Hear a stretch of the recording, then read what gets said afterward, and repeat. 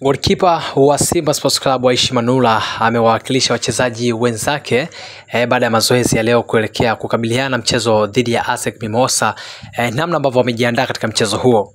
Kama mchezaji uh, nimejiandaa kwa kadri niwezavyo uh, kuelekea mchezo wote utakaokuja mbele yangu, na kama uh, kwenye kabineti yetu kocha makipa nadhani amefanya kile ambacho anapaswa kufanya kwa wanajeshi wake. Kwa hiyo nadhani yeyote atakayepata nafasi ya kucheza atafanya vizuri. Kwa vyovyote itakavyokuwa, lazima tupate matokeo, hicho ndo tunachokitaka. Kwa hiyo kwetu inakuwa ni mechi ya mkakati, mechi ya ya kwenda kupambana zaidi ili kuhakikisha tunatimiza malengo yetu, na moja malengo yetu makubwa ni kuweza kupata matokeo kwenye mchezo huu.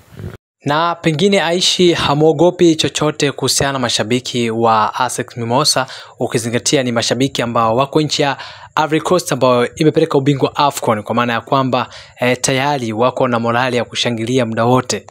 Ivory Coast kuchukua kuchukua AFCON inaweza ikawa sababu ya, ya, ya, ya kufanya kuongeza chochote uh, kwa wapinzani wetu ASEC, isipokuwa kama Simba leo hii au mi binafsi kucheza kwenye mashabiki, nadhani ndio kitu ambacho napenda, kitu ambacho nafurahishwa nacho. Kwa hiyo na ukubwa wa timu yetu, nadhani kuwa na mashabiki ndio kitu ambacho tunaenjoy kuona uwanja ume, ume, ume, ume, ume, ume, ume, ume, umejaa watu wengi wanashangilia, wanapiga kelele. Nadhani itaongeza hamasa zaidi uwanjani, kwa sababu unaposikia makelele ina, kuna kitu kinaongezeka kuona kweli hii ni Champions League ya, ya, ya, ya, ya Afrika.